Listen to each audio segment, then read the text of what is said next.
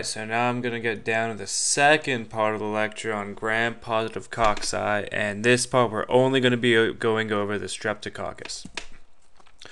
So first we're going to go over the overview. Um, streptococcal species obviously have a name, but they can also be categorized by the C carbohydrate, which is also called the Lancefield group, which is located on their cell wall.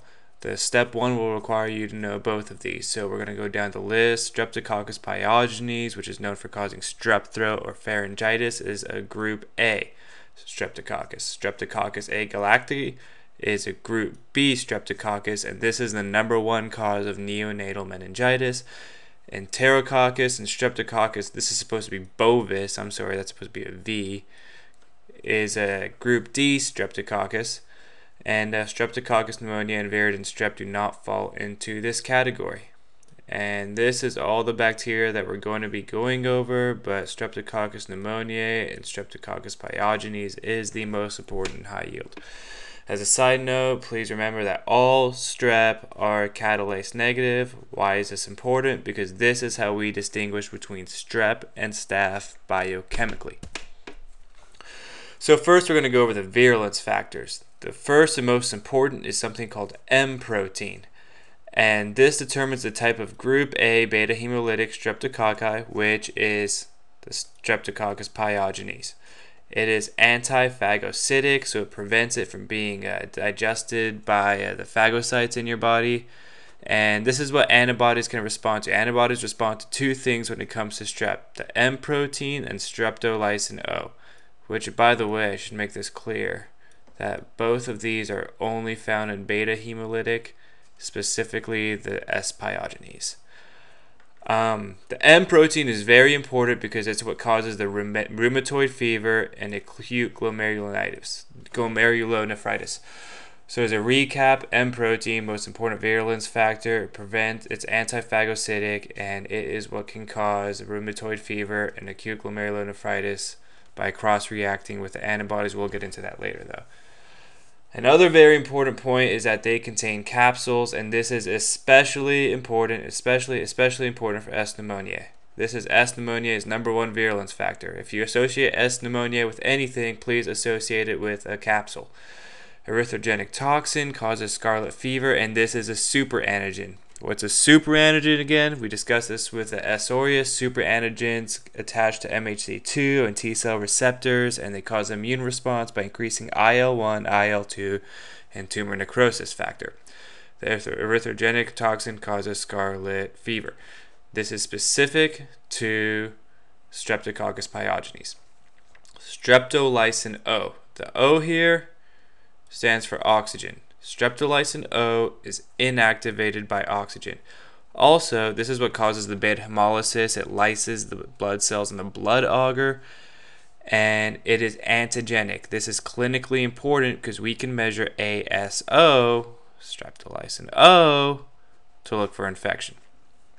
Streptolysin S, not as relevant, not inactivated by oxygen. This is not as important. Pyogenic exotoxin A causes toxic shock syndrome. This is very, very similar to the toxic shock syndrome as S. aureus, but there's a few differences that we'll get over in the next page. Exotoxin B causes necrotizing fasciitis. This isn't as important. And then uh, it produces hyaluronidase. It produces streptokinase, which is an anticoagulant that's still used today, and DNase. As a side note, I want to get this over with that any organism that can cause meningitis will almost always have a capsule. And there's been tons of questions that will say, blah, blah, blah, this patient has meningitis, blah, blah, blah, blah, blah. What is the virulence factor associated? You don't necessarily need to know which bacteria is causing it. All you need to know is that if it is a bacteria, the, the uh, virulence factor is going to be a capsule all the time. Capsules are vital for meningitis. Secondly, if something has a capsule, it has a positive quellung reaction. They can give this to you, or they can say, blah, blah, blah, has meningitis. What do you expect? Gram positive organism that has a positive quellung reaction. So it's important to associate meningitis with a capsule and a positive quellung reaction. So now we're going to go over Streptococcus pyogenes. This causes lots of different stuff. Pharyngitis, also known as strep throat, scarlet fever, toxic shock syndrome, rheumatic fever, post-streptococcal glomerulonephritis. I didn't list it here because I don't think it's very important, but skin infections.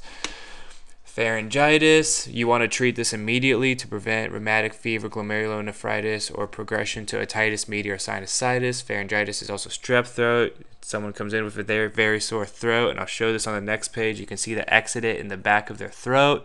You should start them on antibiotics immediately to prevent the progression to rheumatic fever or glomerulonephritis. Scarlet fever is very unique to Streptococcus pyogenes. It has a strawberry tongue that I'll show on the next slide, and it's caused by the erythrogenic toxin. It causes a fever and a red rash that peels. It's almost a less severe form of toxic shock syndrome, which you see here.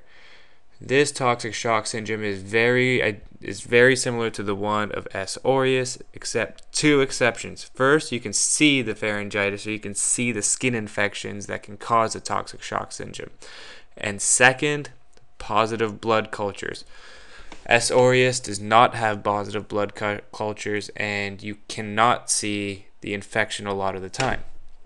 Skin infections. Um, it can cause glomerulonephritis by having immune complexes de- deposit in the glomerular membrane. This is uh, this is more pathology. Um, you'll get symptoms of kidney disease, such as edema, uh, rheumatic fever causes cross reacting of the antibodies, and damage causes endocarditis in the aortic and mitral valves mostly. This is different from the endocarditis caused by drug users with S. aureus infections because S. aureus usually infects a tricuspid valve because bacteria travels from the veins to the vena cava into the right atrium. It also causes damage to joint and brain tissue, and here you see chorea. Chorea are spastic dance like movements that are it's not specific to rheumatic fever, but you will see it in rheumatic fever. This is a strawberry tongue, and as you can see here, here's the uh, exudate, and this stuff right here is S. pyogenes, and this shows strep throat slash pharyngitis. The other bacteria that are not as high yield are S. A. galacticate. This is kind of high yield because this is the number one cause of neonatal meningitis. Remember, it causes meningitis. If it causes meningitis, it has a capsule. It's part of the normal flora of the vagina, which is why during pregnancy, when the mother is delivering the baby, she can contaminate the baby or infect the baby with the SA galacticate, and the baby will develop meningitis. That's why this is the number one cause of neonatal meningitis. Viridans streptococci are uh, bacteria that are uh, that inhabit the mouth or the normal flora of the mouth, and they're usually associated with an invasive dental surgery that'll open up. Uh, it'll cause a wound in your mouth. It'll open up the bacteria to be able to enter the bloodstream, and therefore they can cause endocarditis. This is the most common cause of endocarditis and dentists used to give prophylaxis before dental surgery with antibiotics to prevent this from happening. So think of these like Streptococcus mutans or sanguis with endocarditis. And they can also cause lung and brain abscesses as well. And once again, this is more of a pathology issue. Enterococci and Streptococcus bovis.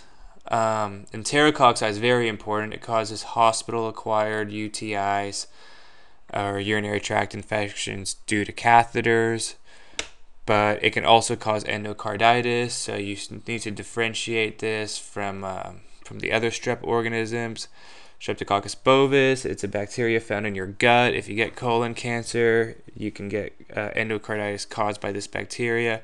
And once again, you need to know how to differentiate all the different types of streptococci when it comes to endocarditis. And I have a table showing you that at the end. Streptococcus pneumoniae. This is very, very high yield, very important. It's called pneumococcus. Uh, it's the most common cause of community acquired pneumonia, meningitis, otitis media, and sinusitis. So, this is a very important uh, organism. Remember, it causes meningitis. If it causes meningitis, it has a capsule. If it has a capsule, it has a positive quellung reaction. Very important. Um, on slides, gram stains see as a diplococci, which means it'll basically be two circles joined together. It's alpha hemolytic. And as a side note, it contains something called C substance, which doesn't really add to its virulence factor, but it can react with a protein from the liver called the C reactive protein. The CRP is used clinically to estimate the risk of heart attack, and studies have shown that the CRP is actually more effective in predicting heart attacks than cholesterol. Um, splenectomy, whenever you remove your spleen, you have a higher risk of chance of infection from all encapsulated organisms, including Streptococcus pneumoniae. And uh, there's also a polysaccharide vaccine available that comes from its capsule. That's given to older patients, usually above the age of 65. There's also a conjugated vaccine that's combined with diphtheria that's given to children. This actually lowers the rate of streptococcus pneumoniae in adults because the children can no longer get it and therefore they cannot transfer it to older people. Right here you can see examples of diplococci. There's one, one. They're all over the place here. Look at that. And this is probably the most important thing that you will see in this lecture is this table. This is something that you need to learn. It's going to be a pain in the ass, but once you learn it, it'll be your time. Hemolysis, strep, uh, pyogenes, group A, group B, streptococcus are both beta hemolytic. Enterococcus and Streptococcus bovis are not as important. They vary. Streptococcus pneumoniae is alpha. Viridans is alpha. Um, here you'll see several different antibiotics. The way I like to remember it is when you compare Streptococcus pyogenes to A. galacticae, I think Streptococcus eh, pyogenes is more important. It's more high yield. And for some reason, I'm telling you, this trend always happens. Whenever something is more high yield, it tends to be more sensitive to the antibiotic that diagnoses it. For example, this case, Streptococcus pyogenes is sensitive to bacitracin. In this case, Streptococcus pneumoniae is inhibited, more sensitive to optotoken or optochin. And if you went back to the staph chapter, Staphylococcus epidermidis was more sensitive to novobiocin than um, than anything else.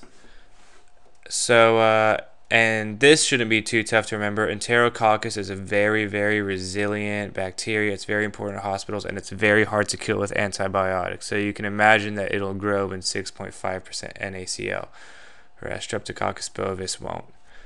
And for treatment, the staph produce beta lactamase, but the strep do not produce beta lactamase, so they're usually susceptible to penicillin medications like amoxicillin or penicillin V. And just like S. aureus, if a patient is allergic to the penicillins, macrolides such as erythromycin do work. This is a, uh, an important point. Most resistance to antibiotics for bacteria comes from plasmids from conjugation, where one bacteria will transfer plasmid to another bacteria. In Streptococcus pneumoniae, and this is actually a board relevant question or a high yield fact, that S. pneumoniae resistance comes from transformation. This is when a bacteria lyses, where it kind of explodes, the membrane dissociates, the DNA leaks out. Other bacteria can pick up that DNA and encode what was on it. If they pick up a piece of the DNA that has the antibiotic resistance, then they will become resistant. And Streptococcus pneumoniae is one of the bacteria that does this. And that concludes the gram positive cocci.